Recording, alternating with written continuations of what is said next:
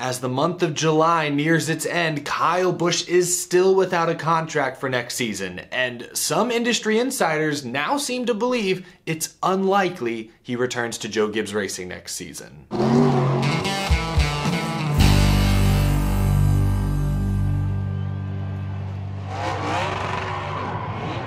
How's it going, y'all? My name is Eric. Welcome to Out of the Groove. Consider this video your midsummer NASCAR silly season checkpoint. We're gonna talk a lot about Kyle Busch, of course, as he is still the biggest free agent on the market. But recent reports link several other drivers to rides for the 2023 season. We're gonna touch base on many of those in just a moment. But first, this episode is sponsored by my friends at Fram.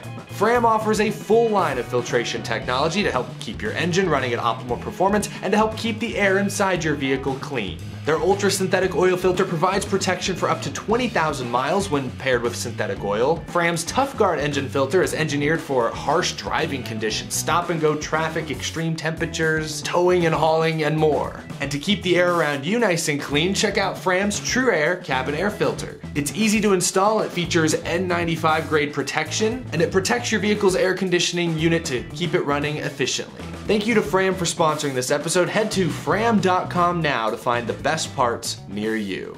Let's begin with the biggest fish. Kyle Busch is still without a ride for the 2023 season. Both he and Joe Gibbs once again expressed this weekend at Pocono that they are determined to get a deal done to keep Kyle Busch in the 18 car next year, to keep Busch as a part of the Toyota family. But both sides continue to express frustration that a deal has yet to be finalized. Nothing new, that's basically what both sides have been saying for two or three months now. Now, we did learn some new information last week from NBC Sports. They reported that Oracle, major technology company, they were close to striking a deal with Kyle Busch and Joe Gibbs Racing until until it apparently fell apart at the last minute. Oracle's a huge company, the kind of company that can afford to spend millions in motorsports. They already spend millions sponsoring Red Bull's F1 team. Unfortunately, they will not be bringing that sponsor money to NASCAR and Joe Gibbs Racing. So, as of right now, Kyle Busch still without a sponsor for next year and therefore still without a ride for next year. All year long, when asked about Kyle Busch's future, I've maintained that the most likely outcome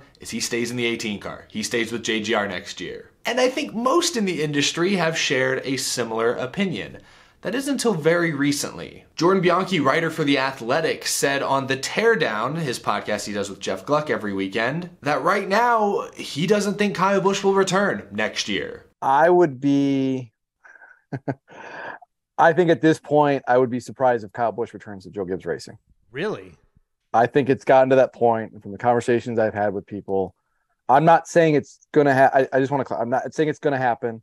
I'm not saying that there couldn't still be a path to him returning to Joe Gibbs Racing, but I think there it's already too far down the road, and too much would have to fall in place for this relationship to continue for another year. Bianchi is a veteran reporter, very well respected in the industry. He's not breaking any news there, he's just sharing his gut feeling right now. Then on Door Bumper Clear, of course, podcast owned by Dale Jr.'s Dirty Mo Media Network that features active NASCAR spotters, Freddie Kraft, spotter for Bubba Wallace, mentioned he'd heard that Gene Haas was at the track this weekend at Pocono, something that is fairly rare these days. And he mentioned a surprising SHR car as a potential landing spot for Busch next season. I heard rumors yesterday that that Gene Haas was there yesterday. Um, that's this is not very common for him recently. He hasn't been in a lot of cup races, I don't think. Where, where else is he going to go? I mean, it's the 18 or it's the 41. The 10's already got a driver. You know, in my opinion, that guy's not retiring. Again, to be clear, both Freddie Kraft and Jordan Bianchi, respected industry insiders, but in this case, both are just guessing.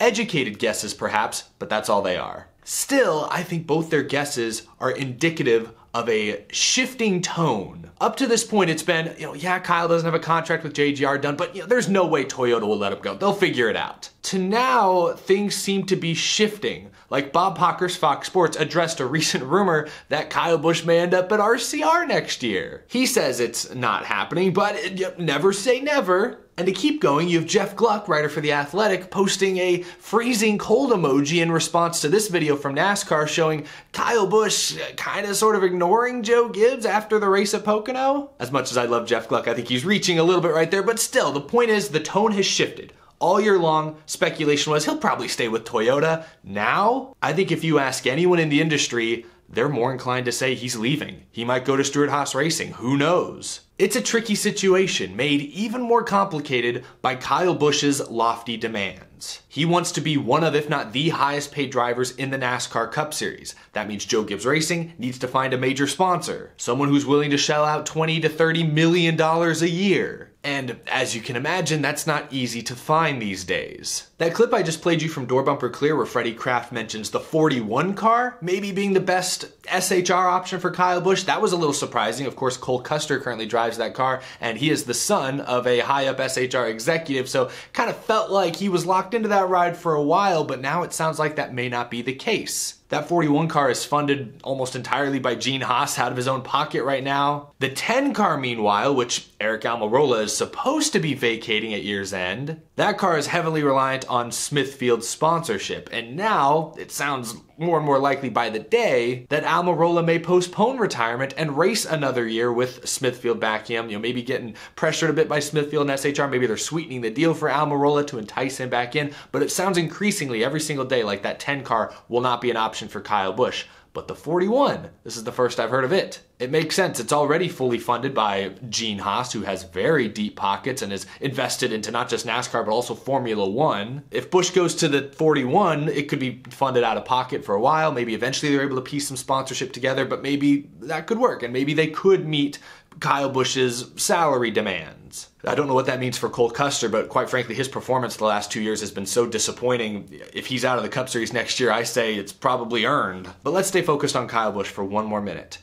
It feels like a lot of this is out of his control. It feels like his future is solely dependent on whether or not Joe Gibbs Racing can entice a major sponsor. But I'm not sure that's actually true.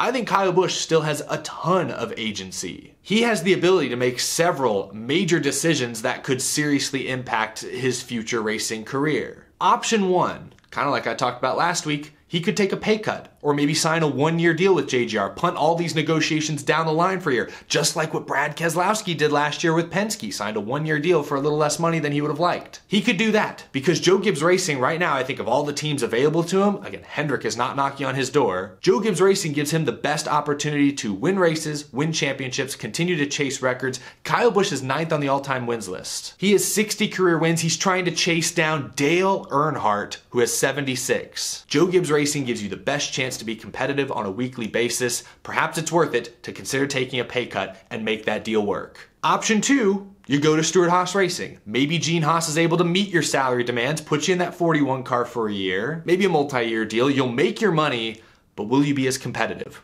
Almost certainly no. Like right now, Stewart Haas Racing is a B to B plus level organization, whereas JGR is is A. They're still at the top contending for championships. Stewart Haas Racing, I mean, outside of Kevin Harvick, who hasn't won a race in almost two years, they look lost most weeks. They're lucky to have one or two of their cars crack the top 10.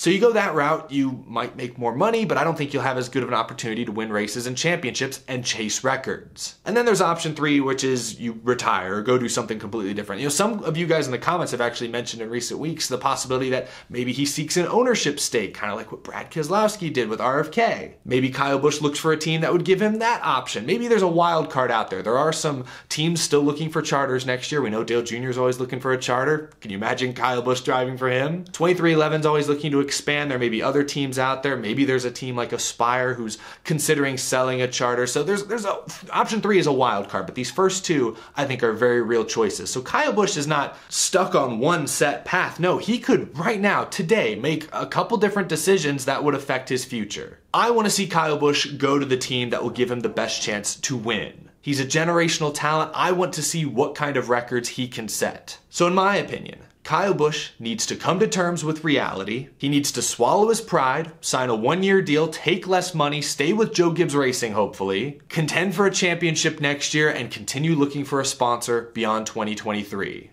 Swallow your pride. You are no longer the best driver in the NASCAR Cup Series. You're arguably not even top five, at least not statistically the last three years. Four wins in two and a half years, that's not peak Kyle Busch. Blame the new car, blame the lack of practice sessions, blame the crew chief swap a couple years ago. Who cares? It's reality. Statistically speaking, Kyle Busch is not one of the best three or four drivers in NASCAR right now. And with young, much cheaper, talented drivers like Ty Gibbs tearing it up in the lower ranks, with Martin Truex Jr. signing an extension with Joe Gibbs Racing, Kyle Busch has even less leverage now than he did when these negotiations began. Joe Gibbs Racing will give Kyle Busch the best chance to win races, chase records, and as a fan, that's where I want to see him racing next year. So he needs to swallow his pride, take a pay cut. Hopefully that allows a deal to be put into place. If he doesn't, if he chases the bag and goes to an SHR and runs 15th next year, that's on him, and I will be very disappointed as a fan. If he doesn't get a ride at all because his demands are too high, that's also on him. And again, fans will lose out because Kyle Busch is still a great driver. Maybe not top two or three right now, but he's still a great driver capable of winning a championship.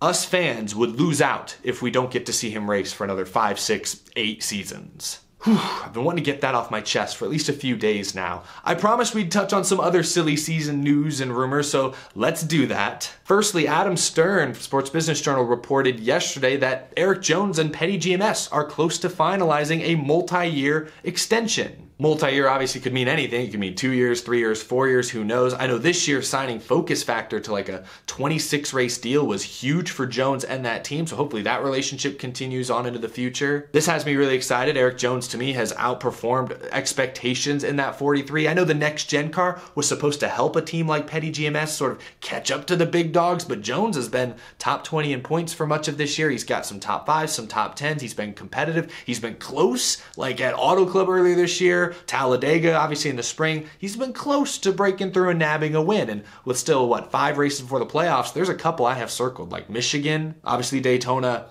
he could still um, sneak into these playoffs. I would not rule it out. So I'm really happy that Petty GMS sees Erik Jones as maybe one of their main guys going forward. He's the driver they can build around, a guy going forward in the future. I think they have a great value pick there. Erik Jones was a TRD Toyota prospect up until, you know, they ran out of seats for him. So Petty GMS I think is getting an underrated race car driver. So I think it works out great for them and hopefully this works out great for Erik Jones. I'm glad he he's landed somewhere where he gets the focus, he's the main guy, they believe in him and we've seen some pretty solid results this year. I mentioned this a week ago, but I'll reiterate it. You know, while we're on the topic of petty GMS, Adam Stern also reported last week that Noah Gragson is among their top candidates to land that 42 seat. We know, of course, it broke like a week ago that Ty Dillon will not return to the team next year. Both sides agreed to mutually part ways. It sounds like petty GMS really wanted to go in a different direction. I was very impressed with Noah Gragson at Pocono this weekend. Obviously, he ran the Cup Series race, but I'm not even really focused on that. He's ran a few Cup races this year, had very mixed results but his Xfinity performance at the end, racing Ty Gibbs, and credit to Ty Gibbs as well. The two raced each other very cleanly, very competitively, and with a ton of respect. I loved what I saw from Noah Gragson. He's had some low lights this year, like Road America, of course, but Pocono was a serious highlight. You know, I don't know that Noah Gragson has Cup Series star in his future, but he's popular with fans. I'm sure sponsors like him, and I think there is something there. There is a spark there. So I, I, don't think he'd be a bad pick. It would certainly be a serious pivot from Ty Dillon. I feel like the two are